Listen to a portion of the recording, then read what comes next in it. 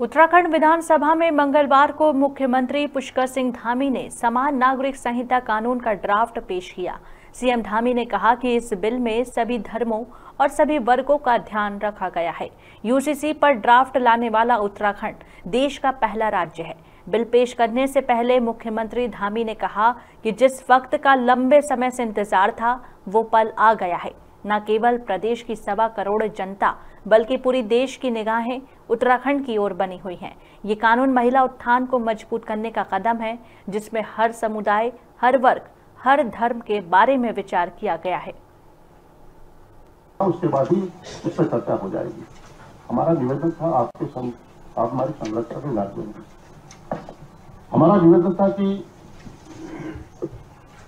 उसका ड्राफ्ट क्या है उसका मसौदा कितना है, क्या कितने पन्नों का है, अध्ययन करने के लिए समय तो चाहिए। हम रेखांकित तो कर सकते हैं, इसमें क्या खामियाँ है, क्या खामियाँ है, क्या इसमें और इसमें सर्जित किया जा सकता है, इसका तो समय हमें मिलना चाहिए। और हमने कहा कि आज को आप प्रस्तुतिकरण करिए उसके बाद कल इस पर चर्चा हो जाए, बेहतर होगा। लेकिन सरकार की का जो पक्ष देखने को मिला, बड़ा दुर्भाग्य है कि विपक्ष की आवाज़ को या मानवीय विधायकों की भावनाओं को जिसमें वो अपनी बात को रखना चाहते हैं, अपनी बात को कहना चाहते हैं उससे वंचित किया जा रहा है मान्य और हद तब होगी, माननीय अध्यक्ष जी। प्रश्नकाल को निलंबित कर दिया गया। संसदीय इतिहास में संभवतः ऐसा कभी देखने को नहीं मिला होगा। इस संसदीय परंपराओं की अवहेलना हो रही है, माननीय अध्यक्ष जी, जो हमारी कार्यपालन नियमावली है। इसमें सब इसी से कार्य संचालन नियमावली से ही सदन संचालित होता है अध्यक्ष जी। इसकी हो संसदीय परंपराओं परंपराओं की अनदेखी की जा रही है।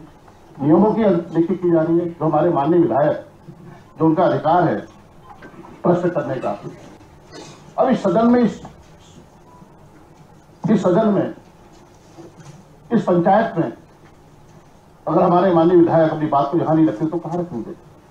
आप प्रदेश जल रहा है, माननीय अध्यक्ष जी। कानून व्यवस्था पूरी तरह ध्वस्त हो चुकी है। लगातार जनप्रतिनिधियों की अनदेखी की जा रही अपमान किया जा रहा है। मान्य मैं इंगित नहीं करना चाहता हूँ बात को इस तरह से नहीं जा रहा